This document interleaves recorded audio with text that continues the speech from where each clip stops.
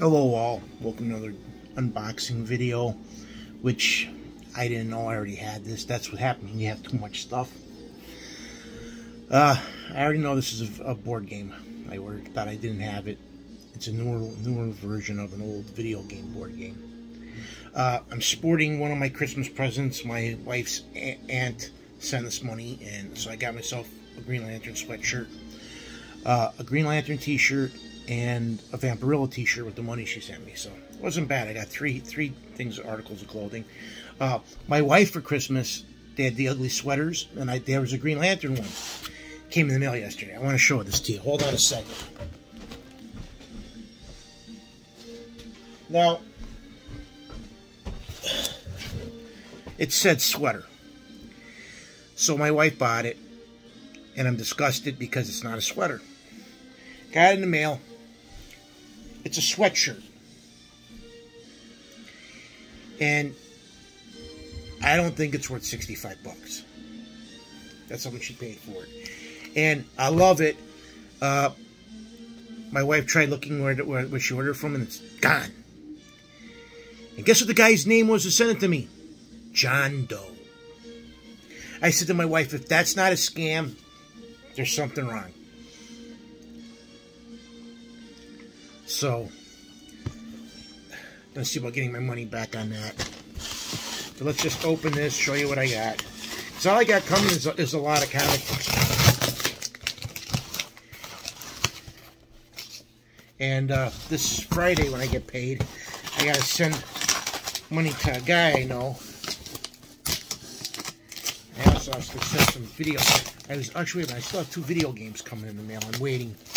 Uh, Jungle Hunt from 5200 and uh, Pro Football City and Television. Oh, this guy has this thing pretty good.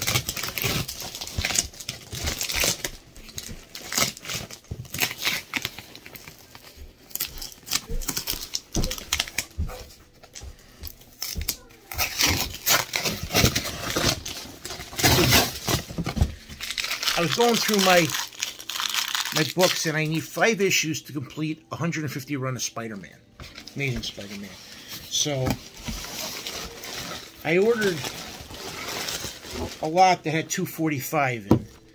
And uh, I didn't notice when I, when I bought the lot that the guy wrote down uh, that 245 is not in good condition. I was like, damn it. So I still need that book.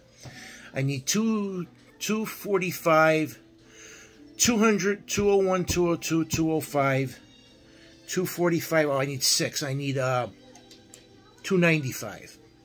And I'll have from 200 to like 350, 360. Uh, for me to finish the 300s, because I think altogether was to finish the three, uh, the two and 300s, I needed like 30 books. So I was like, I'm going to work on that. I'm also going to work on my Iron Man run from 200 to the end, to the because I think I ended, that ended up in that ended up uh, ending in the in the three somethings. So I'm going to work on them. Uh, I might actually work from Iron Man 150 on up. Um, probably won't afford Devil in a Bottle or the first Thanos. Uh, but here's the game I got. Centipede. IDW game. So I got a double of it. I didn't know I had because I have them. I had. I didn't know I had it. I, I had no. I had missile command. I thought I needed that, but I didn't. Because I have out of the new games based on the old uh, video games, I have Pac-Man, Centipede, and Missile Command. And of the original board games that came up based on video games, I have Zaxxon, Donkey Kong, Pac-Man. And I need Centipede, Berserk, Pole Position. Centipede, Berserk, Pole Position. Okay, Miss Pac-Man. trying to think of what else. Because they had, they had a ton of them that came out. Oh, Q*bert.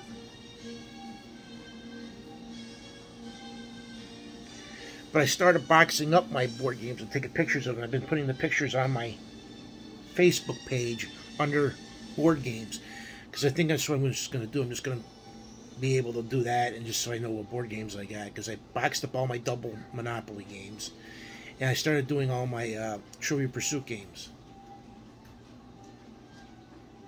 Between the two of them, I filled up three three boxes that were like pretty big.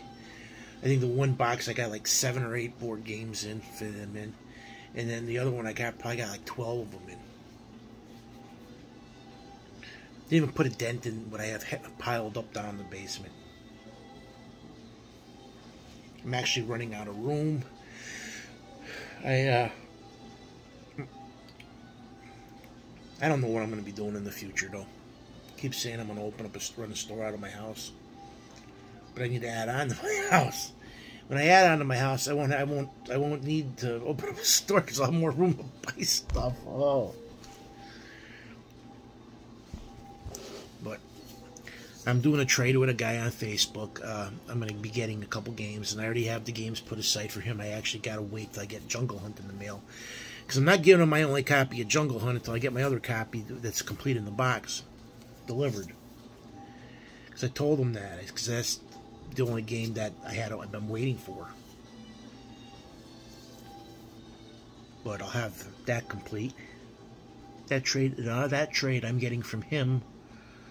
Uh, a Tron game complete in the box, empty boxes for Buck Rogers and Pitfall, because I have both those games. All I have to do is find the manual for Buck Rogers. I'm getting a blue cartridge copy of Pitfall. What were the other two games? Oh, Mr. Do. It's it's it's rough because I can't remember half the stuff because uh, I'm up to 370 Atari games, and I got different versions of the same cartridge. It's like ridiculous. I actually have them all programmed into the, the video game collectors. Uh, there's a guy who posted on the Atari thing. He has this one uh, music something or other music creator or whatever for 2600, and I love how sneaky people are. Oh, it's not worth that much. I'll give you 20 bucks for it. I sent the guy a PM today. I said, listen, I can't afford it. I need it. It goes loose according to the price charting. The price charting is actually cheaper than if you want to buy eBay prices. Because a lot of the eBay prices are freaking ridiculous. Uh, but it goes for $400. And I sent the guy a message saying, buddy, that's worth a pretty penny. You should be able to sell it for $400. Because I've been now doing the Atari games, and that was the first time I seen it in a couple years. So hopefully the guy will get my message and be like, "Yeah."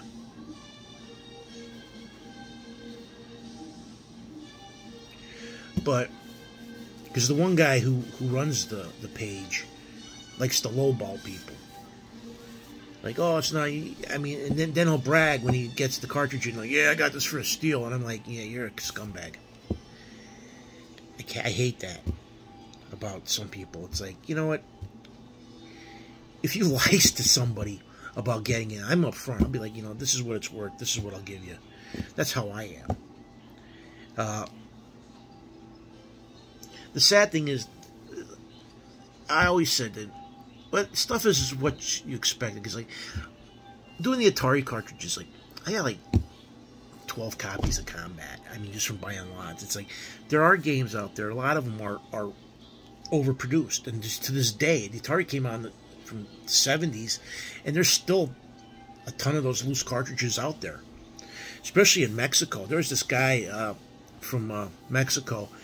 He he actually runs a business where he pays people to go to like garbage picking goes to dumps and they go through the, the garbage down there. I guess a lot of our stuff when it was thrown out used to get shipped to Mexico to get dumped. He's got, I mean, he's got like hundreds of freaking cartridges. Some of them in the box, loose, manuals. You know, he, they're not in the best. Some of them are not in the best of shape, but some of those games are, are, are scarce. He's making a killing. Uh, I won't buy nothing from him. Uh, I think he's from uh, Mexico or Venezuela, somewhere down in South America, Central America way. And uh, I mean, he's just it's just crazy with all the older systems and games he's got. He's always posted on the Atari collectors page, and I'm like, well, you're you're able to get them. They can't, you know. To me, they're not that scarce then. Um,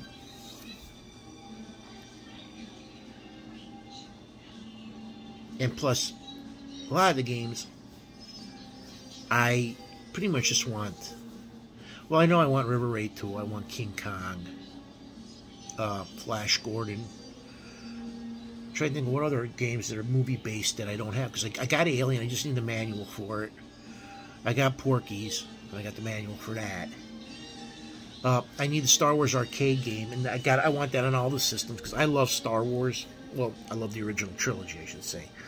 The first release, not Lucas Lucas's constantly keep changing it over the years.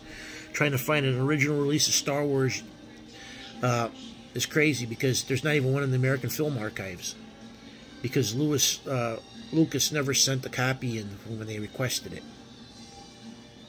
which is sad. You know, they got The Godfather, they got, you know, all these great American movies from American directors, and they don't have Star Wars. Because they were going to get, they, Lucas wanted to put the special edition. I'm like, no, that's not the one that came out in 77. You know, 30 years from now, you can actually say, hey, here, here's a remastered version, special edition. Because I'm still waiting for Lucas to come out with uh, special and come out with the master master edition or Disney come out with the master edition where they actually have the original opening scene with Luke talking to his buddies on you know Bruce the, the, the dark whatever his name is Darklighter who's only in the original movie at the end and all gets blown up uh, originally in the original cut and if you look at some of the older trading cards there are uh, a couple of them where you see him on top of the roof that scene was never put in Star Wars and I was like okay that's like uh, back between Star Wars and Empire when they were talking the the Boba Fett mail away. I always wondered why, you know, Boba Fett. Yeah, he was a cartoon in the thing, but I was always wondering why, you know, they had him. Yeah, because he was cut out of the original, the original movie. So I was like, oh, that's, you know, he was a cool character. A lot of, uh, I just I just don't like uh, a lot of the stuff they're doing with the new trilogy and doing it, redoing the expanding. I just wish the hell Lucas never sold the thing. Just like J.J. Abrams he never touched Star Trek. Uh, and there's like, oh, well, you know, that's you. There should be things that should never be touched. You know, or if you're going to do it, redo a whole brand new reboot. Don't take a universe and change it. If you were going to do, if you're going to change Star Wars canon, create a new new universe of Star Wars. That was Earth, you know, Earth Universe One. This is Universe Two. It's a different universe. You can do whatever you want because it's like ridiculous. Uh, I just read an article yesterday about I forgot what the guy's name was. Somebody asked him about um, race appropriations, about how why are they always taking a white character and turning him into an African American, another, you know, an Asian, a Mexican, but you don't ever, you know, you don't ever see, you know, them taking and any other buddy and turning him into somebody else. That's, you know, and I'm like, well, that, you know, it's okay, you know. He goes, but you know, he goes, it's wrong. Uh, because if they did, they should actually do it. Because he says most I read the article, and the article is really, really well written and really well to the point of what the guy was trying to say. He was like, most of the time when they do that, and they do have a black character, or they always bring it about race or discrimination. They never, you know, do a good job. Especially, uh, they were talking about how in Africa, how they never, you know, they always say, you know, the the whole diversity of the African continent. Because the the guy who asked him the question was from South Africa and he's like, you know, was saying about um, who the hell was I wish the hell I had the article in front of me. But he was talking about how you have in Africa, it's not they all speak, you know, one. He goes, he goes, you can walk a mile down the road and they have a different language, different culture. He goes, but that's never that's never ever brought about. You know, they, they just, you know, blanket the whole thing as one thing, and it's not. And he goes, he goes, it demeans the whole thing. He goes, just like okay, just like we're, I'm white. My parents are Italian descent, my dad's side, my mom's side, Ukrainian, Russian. Now, if you know anything about different cultures, but see, they lump them all in white, and I don't agree with that because back in the day, there was discrimination just based on your ethnicity or even the side of the tracks you were born on. This whole stuff about BLM, you know, uh,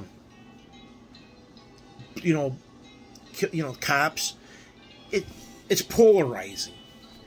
It used to be, I always said years, I used to always said to everybody, I go, United States, and same thing, it was a melting pot. Everybody came to the United States, they learned, but then when they decided to to split the language where you can still speak Spanish and English, there's a divide.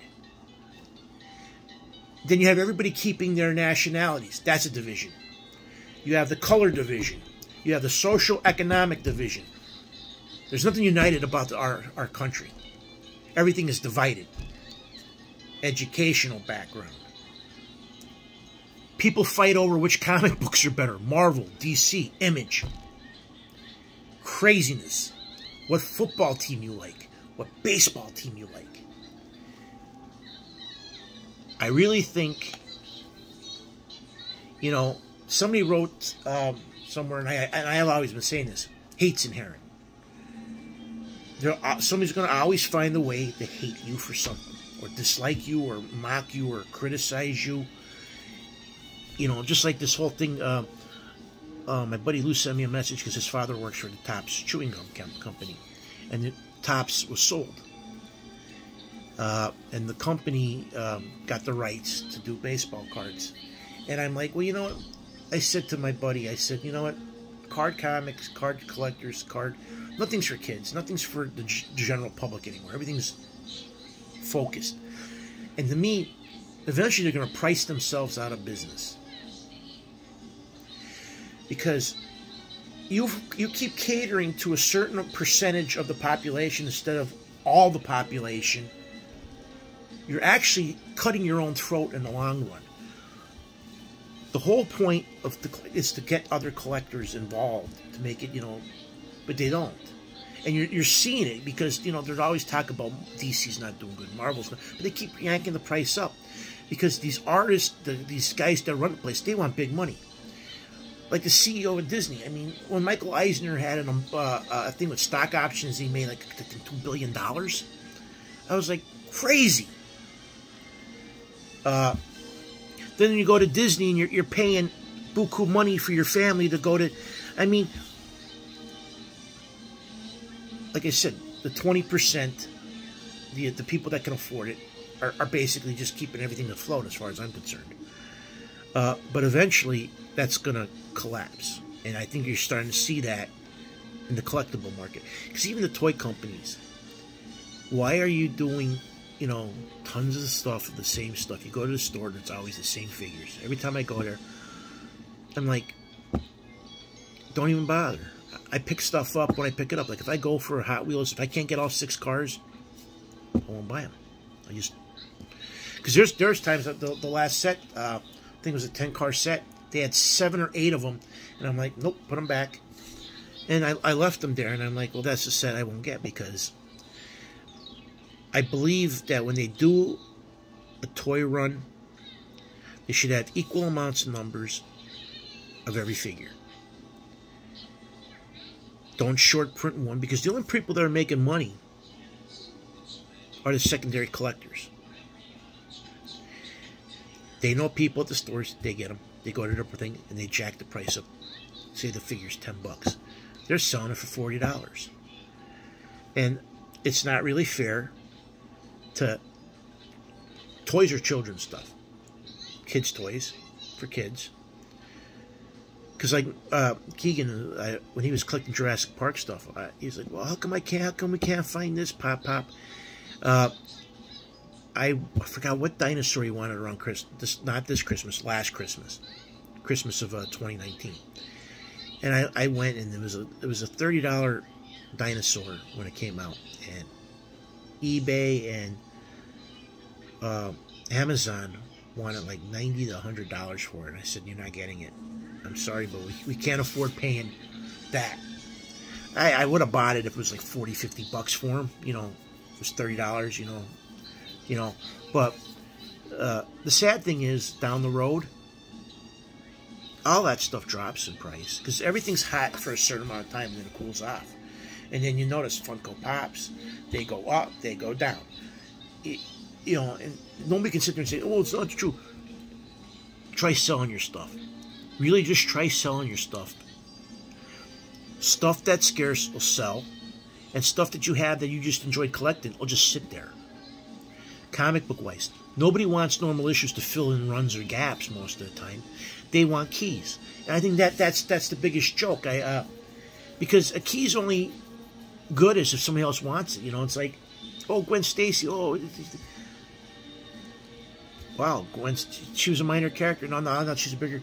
And 20 years from now, she'll be still be a you know a minor character start in, in, in the Spider-Man universe. Uh, I mean, anytime something gets getting done, you know, for a comic or uh, a sports card, who's hot? Uh, Mike Greenwell rookie cards. I can remember at one point were like fifteen dollars a card, right?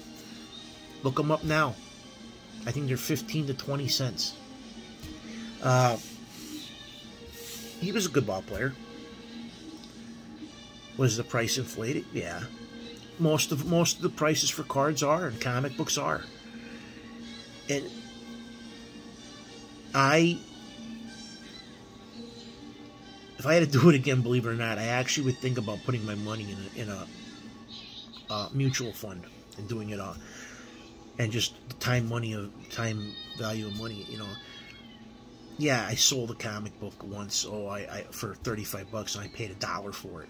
Yeah, they're far and few in between, but I have freaking 10 long boxes in my garage filled with comic books that I can't even I put up for a dollar I can't get people in here because all people want are oh I want uh, Batman pre 90s. I want 80s Batman and 70s Batman. You're not going to get them for a buck. Uh, if you do, they're going to be in crap condition. Uh, same thing with Spider Man's. Uh, X Men.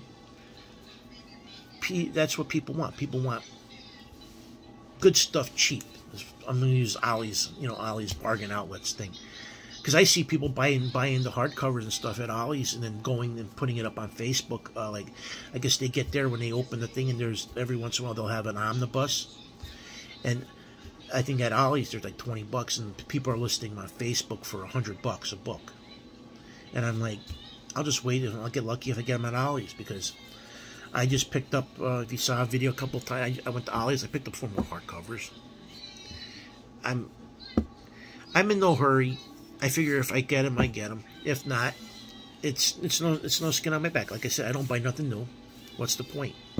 Seven dollars for a book, five dollars for a book. Please. I feel sorry for the comic book shops that that, that have to you know cover to have it. Just like eventually, if I do own a shop, I'll have to pay whatever it is to get these new books, and I'll be like, just shaking my head because I'll keep one issue for myself, and maybe, you know, if I get the variants in, I'll keep them for my collection. But I plan, I plan to just roll most of the stuff over. Subs subscription orders, I'll have to find out what, you know, give a decent discount, because I, I know a lot of comic shops don't even give discounts for subscription buyers. And I and back in the day when I used to subscribe to the comic book shops, I used to get 20, 20 to 40% off depending how much I bought, depending on the guy. And, uh, and they were when they were a dollar a book.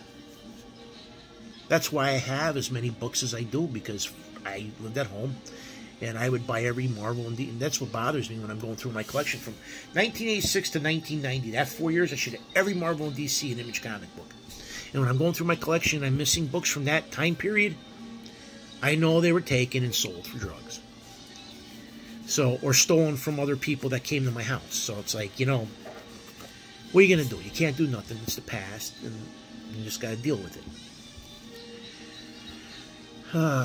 but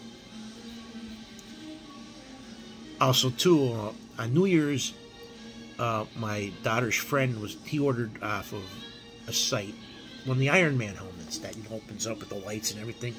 Now, my ordering online, I'm one for four, and now actually one for five because I can't count this this sweater that my wife ordered it, not me. Even though I wanted it. Uh,